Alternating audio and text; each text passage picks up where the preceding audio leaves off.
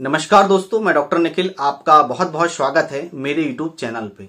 दोस्तों, आज की इस वीडियो में हम आपसे बात करेंगे कि किस तरह हम होम्योपैथिक दवाओं से अपने साइज़ को बढ़ा सकते हैं, अपने साइज़ को इंक्रीज कर सकते हैं, किस तरह से साइज़ को हम मोटा कर सकते हैं।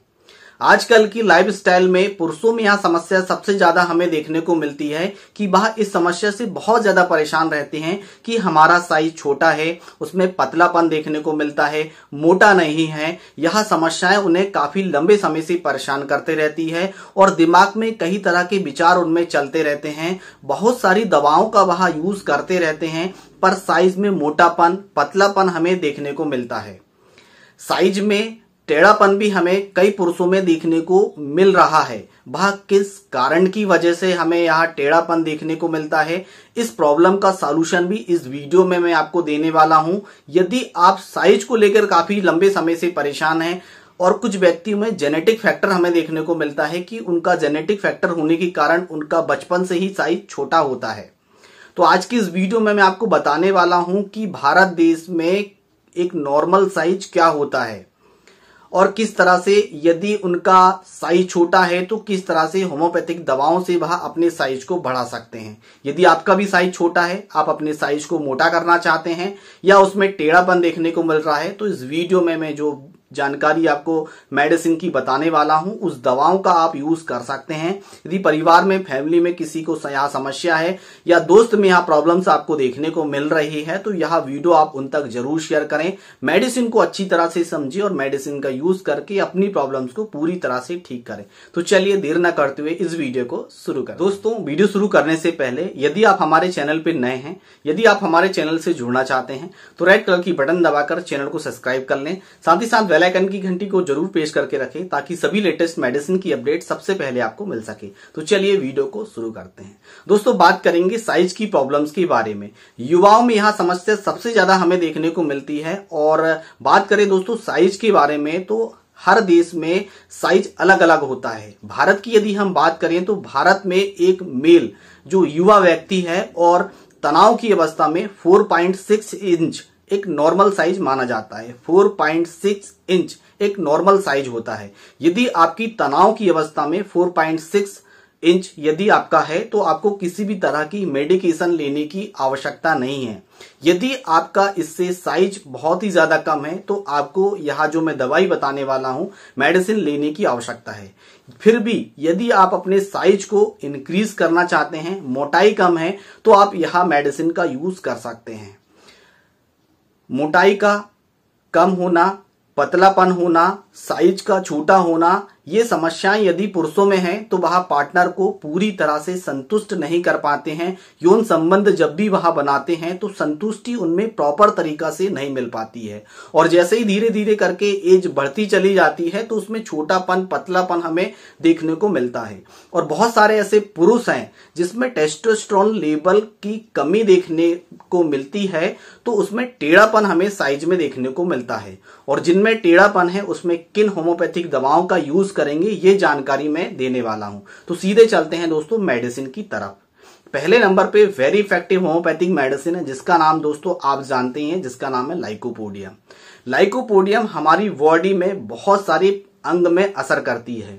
यह हमारे यौन समस्याओं को लेकर और भी ऐसी कई समस्याएँ हैं, उनको दूर कर दी है। एग्ज़ाम्पल पे अब मैं आपको बताऊँ तो इम्पोर्टेंसी के केस में यह बहुत ही अच्छा काम करती है, ढीलेपन में यह बहुत ही अच्छा काम करती है, टेढ़ेपन में यह बहुत ही अच्छा काम करती है, और यहाँ जो नशे होती है, उसमें इम्प्रूवमेंट हमें देखने को मिलता है। यदि आपका साइज़ छोटा है और उसे आप मोटा करना चाहते हैं तो जो नसें होती है, उसकी ब्लड सप्लाई को वह बढ़ा देती है।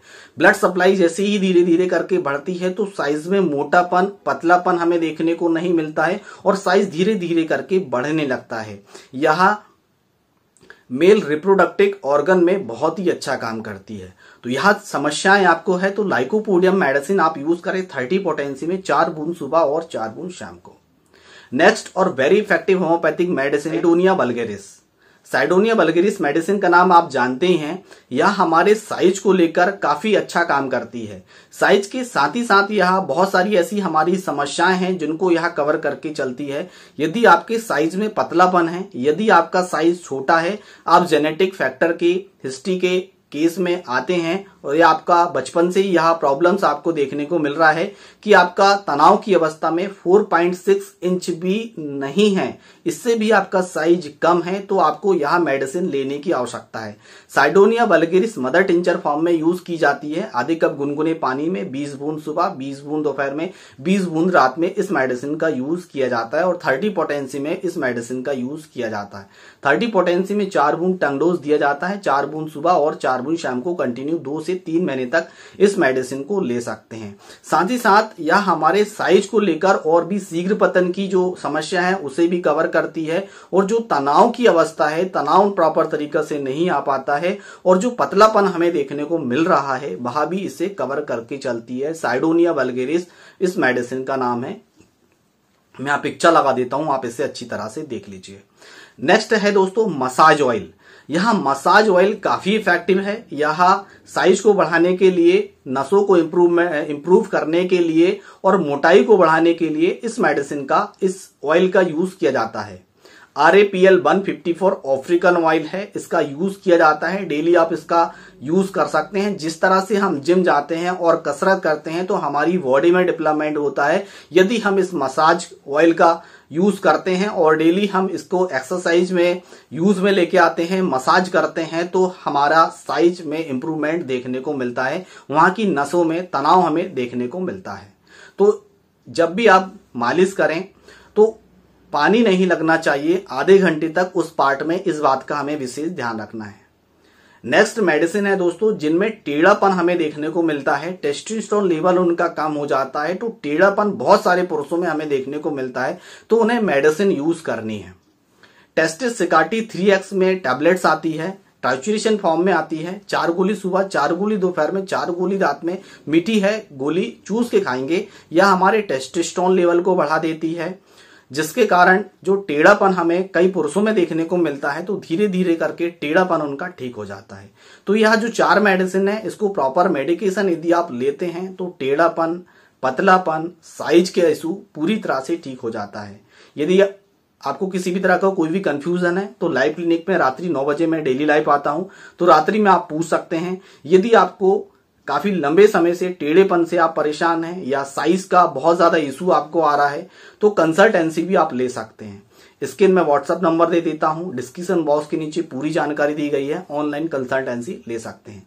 तो आशा करता हूँ दोस्तों, यह वीडियो आपको अच्छा लगा है। वीडियो अच्छा लगा है तो वीडियो को लाइक करें रेड कलर की बटन दबाकर चैनल को सब्सक्राइब करके वेलाइकन की घंटी को ज़रूर प्रेस करें। दोस्तों, मिलते हैं कल फिर नेक्स्ट वीडियो में।